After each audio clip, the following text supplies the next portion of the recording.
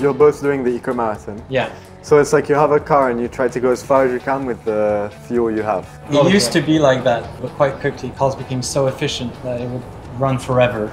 so now what they do is they give you a set distance and a set time to complete that distance. So you have a minimum average speed. You do basically 10 laps around the track. How do you stay resilient under pressure? I feel like this is the most important year of my career and then you get to the next year and it's the most important year of your career again. Every year it's like that. So to stay on top of it, I, I think you, you need to have good strategies to cope with it. It's something that um, I think comes with experience. What inspires you to keep pushing for more? I think my motivation and my inspiration comes from hunger for success. I really want to be proud of my performances and hopefully have a long career in F1. That's my, of course, that's, that's my goal in, in life. It's only about racing, honestly.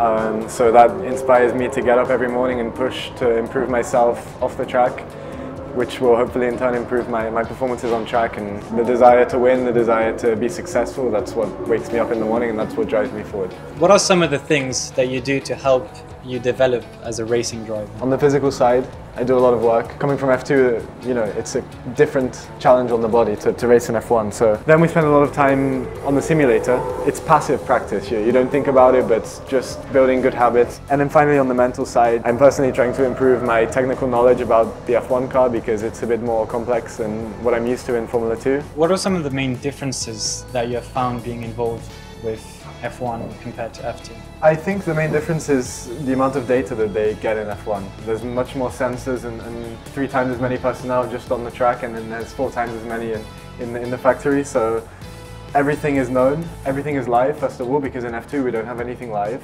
Um, even so far as uh, looking at the, the performance of the engine and the health of the engine, which I found out today. Um, there's so much more going on uh, in the background. I was quite shocked and, and, pleasantly surprised by the amount of data that the, that the teams get and what they're able to feed back instantly to you. What is your best memory in your career to date? My best memory so far was definitely in Jeddah, making my debut with Ferrari and become the youngest Ferrari driver. It was quite a, a special moment and a special weekend for me and, and my whole family. What does Shell's trackside scientists do for Scuderia Ferrari HP? There are two scientists on track at every single race to make sure that all our products, whether that's the Shell Helix Ultra engine oil or the V-Power racing fuel, that they both meet all the rules and regulations that are set by the FIA. So that's really important because if we lose that compliance, if the car is found to be illegal because of the fuel, it's then back of the grid, no points. So for us, we try to essentially stop that happening. What is one piece of advice you would give to Shell Eco-Marathon graduates? Don't have any doubts